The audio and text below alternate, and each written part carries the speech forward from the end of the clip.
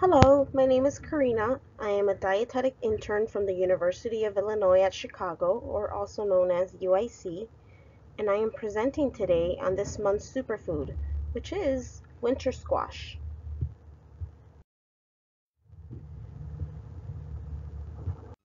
So what exactly is winter squash, and how is it different than summer squash? It turns out that both winter and summer squashes are planted in early spring, but they're harvested at different times. Summer squashes, like green or yellow zucchini, are picked earlier than winter squashes. Winter squash can be picked as late as September or October, and they can be stored in a dry, cool place for up to three to six months. In addition, winter squashes are bigger in size and have a thicker or bumpier skin with very few exceptions. Have you ever wondered the history of squash? Probably not, but it's really interesting. Winter squash can be dated back to about 12,000 years.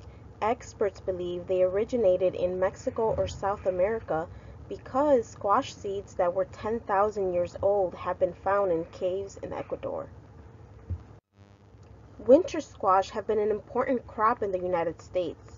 The Wampanoag Indians of New England frequently used this crop as part of their Three Sisters trio.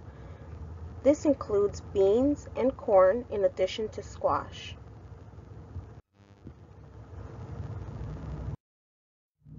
There are dozens of varieties of winter squash.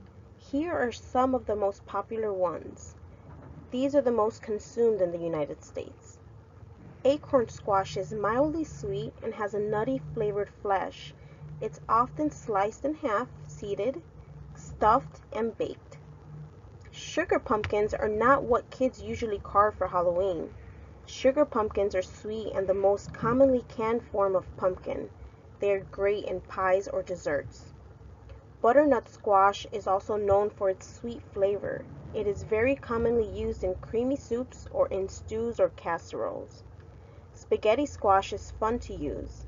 Once it's roasted, the thread-like flesh can be scooped out and used as an alternative to thin noodles like angel hair pasta.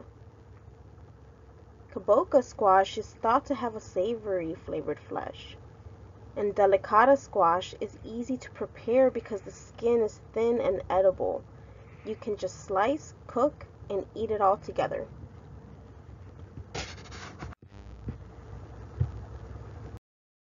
Besides its cool history and varieties, what makes winter squash a superfood? It's packed with incredibly beneficial nutrients. Squash is an excellent source of carotenoids, Carotenoids, including beta-carotene, are later converted to vitamin A by our bodies. Vitamin A is thought to help keep your immune system strong and it helps with night blindness. Squash is also a very good source of fiber and antioxidants. The pectin found in squash can help slow down the release of sugar during digestion. I will touch a little bit more on this on the next slide. Antioxidants like vitamin C, manganese, and copper are found in winter squash. Antioxidants are substances in food that can help prevent or reduce the damage caused to our cells by oxidation that can sometimes lead to disease or cancer. Squash is also a good source of B vitamins. B vitamins are important for cell growth and help our bodies convert the food we eat into the energy we use every day. B vitamins are also important for red blood cell production. Squash is also a good source of magnesium, potassium, folate, pantothenic acid, and vitamin K.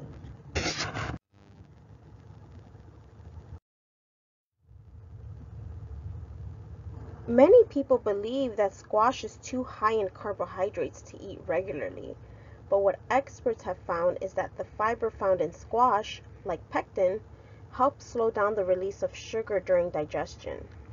This can make squash a food low on the glycemic index. The glycemic index is basically a ranking for how the carbohydrates found in food can affect our blood sugar. The lower the food is on the glycemic index, the less it affects our blood sugar. Steaming squash is the best way to keep the glycemic index low. but even with other preparation methods, it still falls into the low to moderate glycemic index category. So, squash is a great alternative to potatoes, which are much higher on the glycemic index. Remember those antioxidants we mentioned before? Well, they play an important role in protecting our cells from damage that can lead to disease or cancer. The high potassium content in squash can help lower blood pressure, and some studies have even shown that regular squash consumption may help lower cholesterol.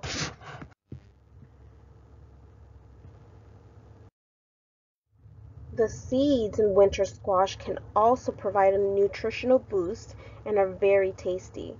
All you have to do is scoop the seeds out, wash and dry them, and roast them for about 200 for about 20 minutes at 250 degrees Fahrenheit. And don't worry about the strings too much. They should shrivel up in the oven during the cooking process.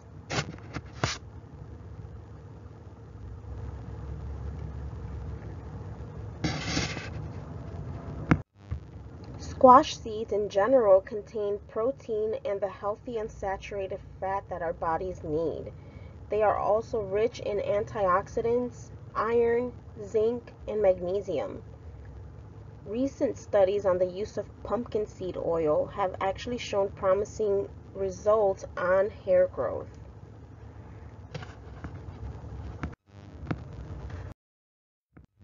Here are some easy and simple ways to include winter squash into your diet.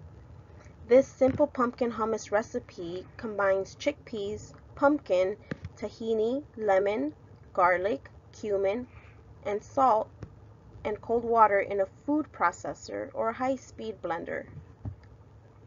You blend until a desired consistency is reached. Enjoy this hummus with some fresh veggies or crackers.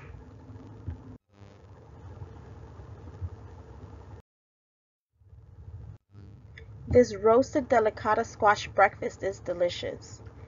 You preheat your oven to 425 degrees.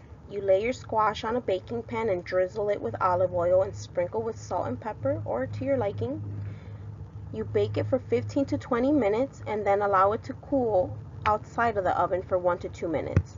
In that same pan, you arrange squash into a circular shape about 4 inches wide, keeping the center hollow. Keep layering the squash until you get a stack about 2 inches high and then repeat twice. Crack an egg into each of the three squashes tower's hollow center. Put back in the oven at 425 degrees and bake another 15 minutes. Serve this hot with a sprinkle of chives or scallions or add a pinch of freshly ground pepper or sriracha sauce.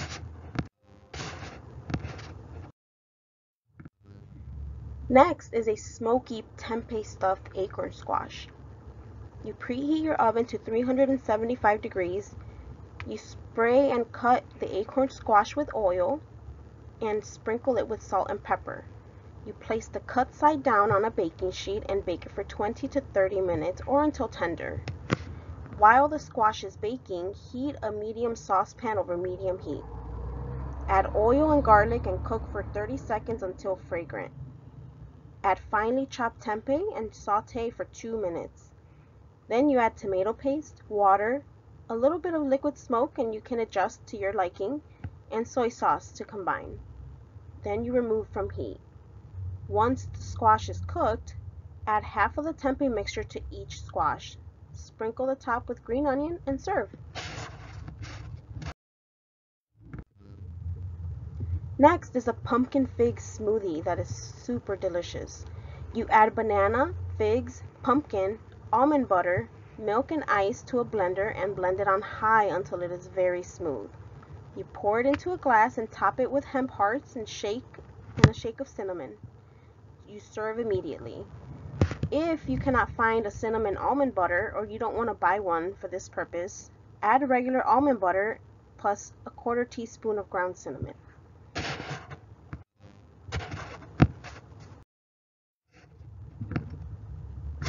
Thank you so much for your time. I hope you enjoyed my presentation on this superfood winter squash.